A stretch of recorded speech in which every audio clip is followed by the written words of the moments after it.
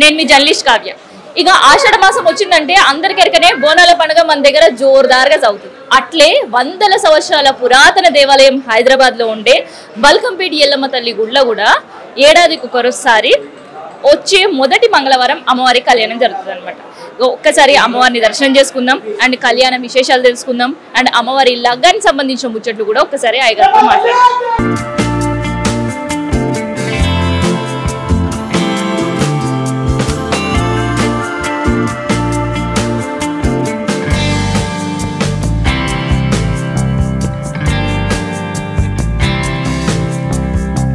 ఎక్కడైనా అమ్మవారు మనకి అభయ హస్తాలతో దర్శనమిస్తారు. లేదంటే అమ్మవారు పులి పైన కూర్చొనో సింహం పైన కూర్చొని అమ్మవారి భక్తులకు దర్శనమిస్తుంది. జరగనే. కానీ బల్కంపేటి ఎల్లమ్మ తల్లి మాత్రం చాలా ప్రత్యేకంగా భక్తులకు దర్శనమిస్తుంది. జలదుర్గగా కూడా బల్కంపేటి ఎల్లమ్మ తల్లిని పిలుస్తుంటారు. బాయలుండే బంగారు తల్లిని దర్శనం చేసుకోవడానికి అమ్మవారికి మొక్కులు చెల్లించుకోవడానికి కావచ్చు ఇక్కడికి వస్తూ ఉంటారనమాట సో ఇప్పుడు నేను ప్రజెంట్ గర్భాలయం దగ్గర ఉన్న ఒక్కసారి అమ్మవారి దగ్గర మనం చూస్తుంటుంటే అమ్మవారి ఇవాళ ప్రత్యేకంగా అమ్మవారిని అలంకరించారు. అండ్ ఇవాళ అమ్మవారికి మల్లెపూలతో అలంకరణ కూడా చేశారు అయితే ఈ రోజు ఈ అలంకరణ చూస్తే మళ్ళీ ఏడాది తర్వాత ఎప్పుడో ఇట్లాంటి అలంకరణ చూస్తారు. అంటే ప్రతిరోజు ప్రత్యేక అలంకరణే మాతవర్ అమ్మవారి ఇక్కడ దర్శనం ఇవ్వడం అనేది.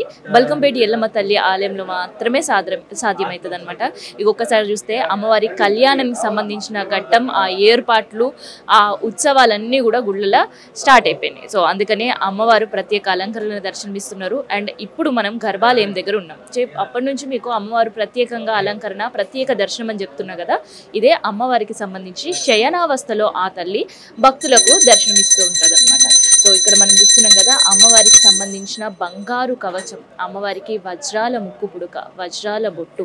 అండ్ రేపు జరగబోయే ఉత్సవానికి ఇంకింత ప్రత్యేకంగా ఉండబోతుంది. సో బంగారు చీరలో ఆ తల్లి దర్శనమివ్వడం అమ్మవారికి కూడా బంగారు బోనం సమర్పించడం ఇవన్నీ కూడా ప్రత్యేకంగా ఉండబోతుంది అనమాట సో అమ్మవారి సొమ్ములు ఇన్ని అన్ని కాదు ప్రత్యేకంగా పెళ్ళి సొమ్ములు చాలా ఉంటాయి అమ్మవారికి. అందులో ప్రత్యేకంగా ముక్కు పుడక కావచ్చు అమ్మవారి బంగారు భాషణం కావచ్చు అమ్మవారికి సంబంధించిన మంగళసూత్రాలు కావచ్చు. ఇవన్నీ చాలా ప్రత్యేకంగా ఉంటాయి. వాటిపైన వజ్రాలతో అలంకరించి మరి అమ్మవారికి సమర్పిస్తూ ఉంటుంటారనమాట సో గర్భాలయంలో ఇప్పుడు చూసినాం కదా అమ్మవారి ప్రత్యేక అలంకరణ. అండ్ శయనావస్థలతో పాటు నేను మీకు చెప్పిన కదా అమ్మవారిని జలదుర్గగా కూడా కొలుస్తుంటారు. బాయల వెలిసిన బంగారు తల్లి అని. అందుకనే మనకు ఒక్కసారి అమ్మవారి శయనావస్థ పక్కనే ఒక చిన్న బాయి కనిపిస్తుంది కదా. సో ఆ బాయిల ఆ తల్లి వెలిసిందనమాట. ఇక్కడ ఎల్లమ్మ తల్లి అంటే స్వయంభూగా వెలిసిన తల్లి అనమాట. సో అందుకనే ఈ అమ్మవారిని స్వయంభూగా కూడా భక్తులు పూజిస్తుంటుంటారు ఆరాధిస్తుంటారు. ఆ అమ్మవారికి ఆషాఢం వచ్చిందంటే ప్రతిరోజు కూడా శాఖలు సమర్పిస్తూనే ఉంటుంటారు. సో ఆ బాయిల వెలిసిన తల్లిని ప్రతిరోజు భక్తులు బాయిల దర్శనం చేసుకోవడం అంటే కొంచెం కష్టమే. అందుకనే అమ్మవారికి సంబంధించిన అమ్మవారి విగ్రహ రూపంలో ఒకవైపు మనం చూస్తుంటే శయనావస్థలో అమ్మవారు భక్తులు దర్శనం చేసుకునేటట్లు ఇట్లా ఏర్పాట్లు చేశారనమాట సో వందల సంవత్సరాల చరిత్ర కలిగిన బల్కంపేట ఎల్లమ్మ తల్లి దర్శనం మనం అందరం కూడా చూసుకుంటున్నాం కదా. ఆ తర్వాత ఈ ప్రతి ఏడాది కూడా అమ్మవారికి ఇక్కడ ఆషాఢ మాసంలో వచ్చే తొలుత మంగళవారం అమ్మవారికి సంబంధించిన కళ్యాణం. మస్తు విశేషంగా జరుగుతుంది. ఇక బోనాలంటే కేవలం ఆషాఢ మాసంలోనే జరుగుతాయని మనకు అందరికీ ఎరకనే. కాకపోతే బల్కంపేటలో మాత్రం మూడు వందల అరవై ఐదు రోజులు ఎవరో ఒకరు వచ్చి అమ్మవారికి బోనం సమర్పిస్తూనే ఉంటారు. ఖచ్చితంగా శాఖలు వస్తూనే ఉంటారు. ఇక ఒక్క మాటలే చెప్పాలంటే బల్కంపేట ఎల్లమ్మ తల్లి గురించి నిత్య కళ్యాణం ఎట్లయితే మనం వెంకటేశ్వర స్వామి దగ్గర అంటామో అట్లనే ఇక్కడ నిత్యం అమ్మవారికి శాఖలు నిత్యం అమ్మవారికి బోనాల సమర్పణ అనేది జరుగుతూనే ఉంటుంది సో కేవలం మన హైదరాబాద్లో తెలంగాణలో కాదు పక్క రాష్ట్రపోలు కూడా వచ్చి అమ్మవారి దర్శనం చేసుకుంటుంటారు. ఇక అమ్మవారికి ఇష్టమైన బోనం వాళ్ళకి తెలియకుండా ఇక్కడ వాళ్ళని అడిగి తెలుసుకొని మరి బోనం చేస్తుంటుంటారు. అట్లే ఆ తల్లికి కళ్ళు సాకలు బెల్లం నీళ్ళ సాకలు పెట్టి దండాలు పెట్టుకొని మొక్కులు మొక్కుకొని పోతుంటారంట. అందుకనే ఇక ఆదివారం మంగళవారం గురువారం అమ్మవారికి మస్తు ఇష్టమైన రోజులు కాబట్టి ఈడ ఆ రోజుల్లో అడుగు వెడితే ఇసుకరాలన్నంత జనం అని చెప్తుంటాం కదా సో అది నిల్వెత్తు నిదర్శనంగా ఇక్కడ మనకు చూడొచ్చు. ఇక కళ్యాణికి అయితే లక్షలాది మంది వస్తుంటారు.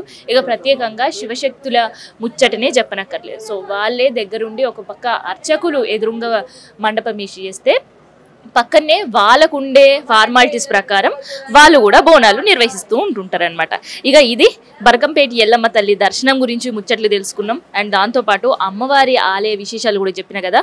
ఇక ఒకపారి పెళ్ళి కూతురుగా ఆ తల్లి దర్శనం చేసుకుంటే ఎట్లుంటుందో కళ్ళార మీరు కూడా చూడండి. ఒకపారి మన అర్చకులతో కూడా మాట్లాడదాం. ఆ తల్లిని పెళ్ళి కూతురుగా దర్శనం చేసుకునే భాగ్యం మీకు కూడా కల్పిస్తాం.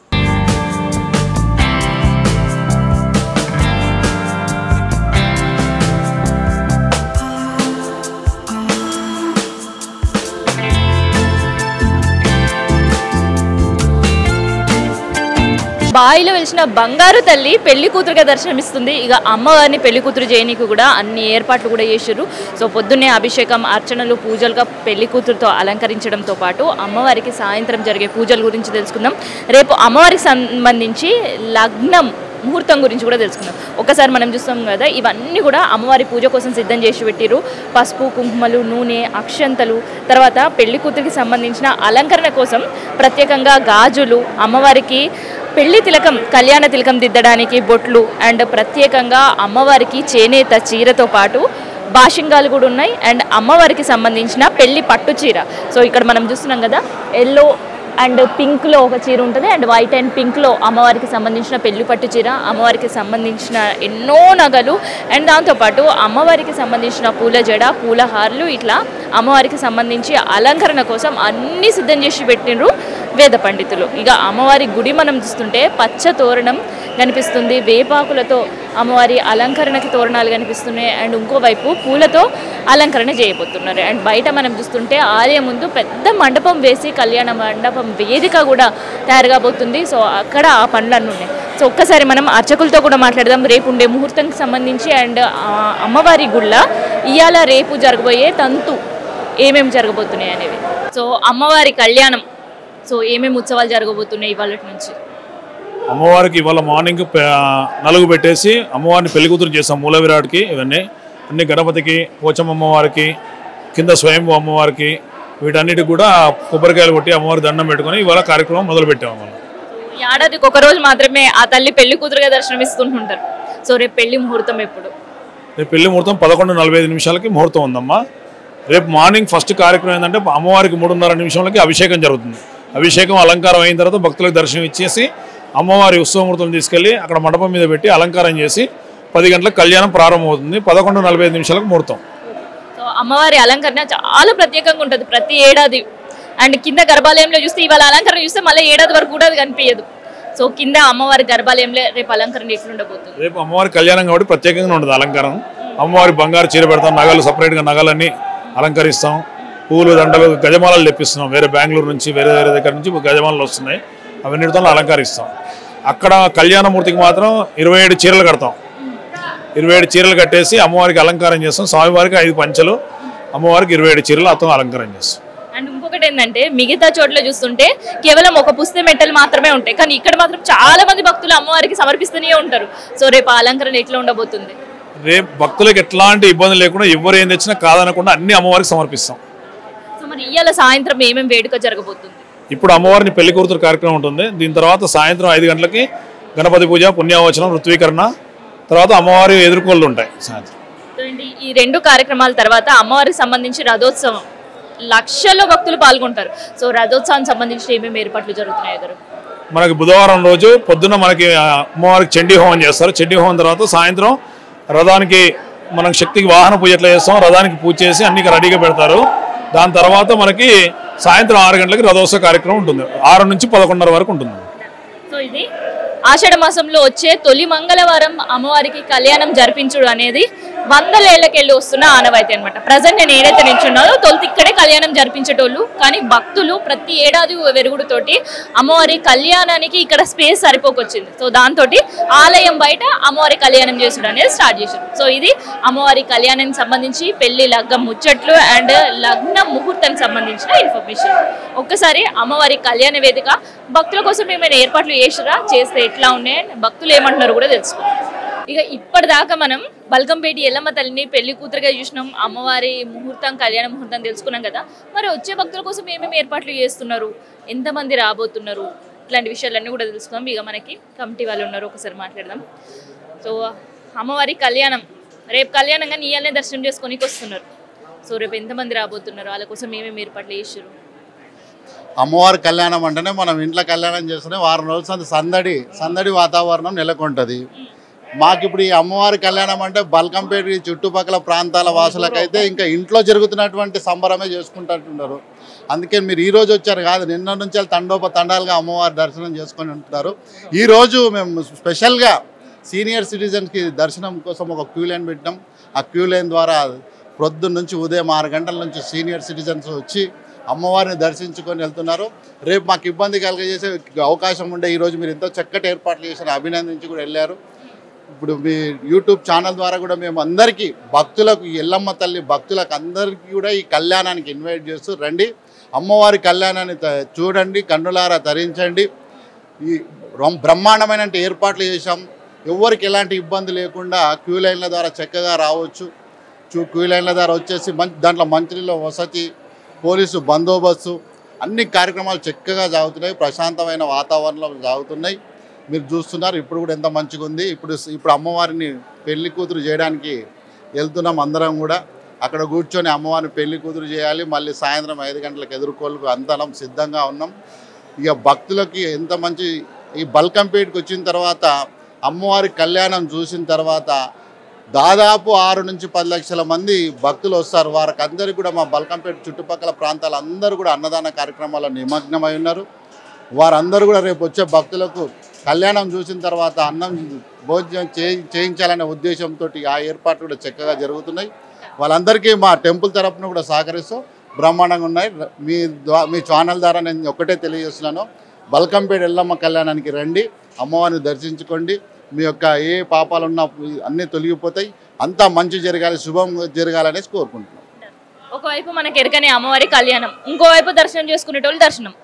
దర్శనం చేసుకునే భక్తులకి పొద్దున ఎప్పటి నుంచి స్టార్ట్ చేస్తారు దర్శనాలు? మామూలుగా అయితే కళ్యాణోత్సవ కార్యక్రమం పొద్దున ఉదయం రెండు గంటల రెండు నుండి మూడు గంటల మధ్యలో అమ్మవారికి అభిషేకం అలంకార కార్యక్రమం జరుగుతుంది. భక్తులంతా కూడా సుమారు ఐదు గంటల ప్రాంతంలో దర్శన కార్యక్రమం జరుగుతూ ఉంటుంది. ఒక్క పది పదిన్నర మధ్యలో అమ్మవారి కళ్యాణ కార్యక్రమం కూడా ఇక్కడ అమ్మవారి దర్శనం జరుగుతూనే ఉంటుంది. అమ్మవారి దర్శనానికి వచ్చే భక్తులకు ఎటువంటి ఇబ్బందులు జరగకుండా దేవాదాయ శాఖ అధికారులు కానీ మన ఇక్కడ స్థానికులమైన మేము కానీ మాజీ ట్రస్టులైన ప్రస్తుత ట్రస్టీలు రాజకీయ పార్టీలకు అతీతంగా అమ్మవారి దర్శనానికి వచ్చే ప్రతి భక్తుడిని ఇక్కడ అమ్మవారు ఆశీస్సులు ఉండాలనే ఉద్దేశంతో అందరం కూడా ఈ కళ్యాణ కార్యక్రమంలో పాల్గొని అమ్మవారి ఆశీస్సులు ఉండాలని కోరుకుంటున్నాం. సో పొద్దుగల షురు అవుతుంది ఐదు గంటలకి దర్శనం. మళ్ళీ సో ఎప్పటి వరకు దర్శనాలు కంటిన్యూ అయితే రేపు రాత్రి అన్న? రేపు రాత్రి రేపు రాత్రి పన్నెండు పదకొండు అవుతుంది. మరి ఎల్లుండి రథోత్సవం సంబంధించి ఏమేమి ఏర్పాట్లు చేస్తున్నారు? ఇంకొకటి ఏంటంటే రేపు జరగబోయే ఆలయం అంటే దేవస్థానం నుంచి కావచ్చు ఎండోమెంట్ నుంచి బయట కళ్యాణం జరుగుతుంది. అండ్ ప్రత్యేకంగా ఇక్కడ కళ్యాణం నిర్వహించడానికి శివశక్తులు వస్తుంటారు. సో వాళ్ళకి సంబంధించి ఏర్పాట్లు ఎట్లా జరుగుతుంది వాళ్ళకు కూడా సపరేట్ క్యూ లైన్ చేసినాము ఇంతకుముందు యాభై రూపాయల టికెట్ ఉండే. దాన్ని మనం యాభై రూపాయల టికెట్ తీసేసినాం అది వాళ్ళకి ఏర్పాటు చేసినాం సో ప్రతి ఏడాది ఇక్కడ వాళ్ళకు కూడా పసుపు కుంకుమలు ఇచ్చే ఆనవాయితీ ఉంటుంది. అసలు ఆనవాయితీ ఎట్లా స్టార్ట్ అయింది? అది పూర్వకాలం నుంచి నడుస్తుందమ్మా. దాన్ని అలాగే కంటిన్యూ చేసుకుంటూ వస్తున్నాం. అప్పుడు జాకెట్ ముక్కు ఇచ్చేవాళ్ళు. ఇప్పుడు మనం దాన్ని బ్లౌజ్ అది చీర పెడుతున్నాం. అండ్ ప్రతి ఒక్కరికి ఎన్నో మొక్కులు ఉంటాయి మొక్కుబడులు ఉంటాయి అండ్ ప్రత్యేకంగా మీ తాతలు ముత్తాతల నుంచి కూడా ఈ ఆలయం మీకు వస్తూ ఉంది. సో మీకు రేపు ఎట్లాంటి ఫార్మాలిటీస్ ఉంటాయి అన్న అమ్మవారి కళ్యాణంలో? ఏం లేదమ్మా. ఇప్పుడు వచ్చే భక్తులకు అన్ని మంచిగా ఏర్పాటు చేయాలని చూసుకోవాలి. దగ్గర ఉండాలి అని చెప్పి. సో మరి కళ్యాణోత్సవం ఎట్లా ఉండబోతుంది అంత బాగా అవుతుంది ఎందుకు? చాలా బాగా అయితే ప్రతిసారి కానీ ఈసారి ఇంకెక్కువ రావచ్చు పబ్లిక్ అని ఎక్స్పెక్ట్ చేస్తున్నాం. తొలుత కళ్యాణం అమ్మవారి గుడి లోపల జరిగేదంట వాస్తవమేనా? అవును లోపల ఇక్కడే అయ్యేది. రాను రాను పబ్లిక్ పెరిగిపోతుంది కాబట్టి బయట చేస్తున్నాం సో దాదాపు మరి రేపు ఏం అంచనా చేస్తున్నారు ఎంతమంది వచ్చే అవకాశం? రావచ్చు ఆరు ఏడు లక్షల పైన రావచ్చు. సో ఇది బల్కంపేటి ఎల్లమ్మ తల్లి కళ్యాణం.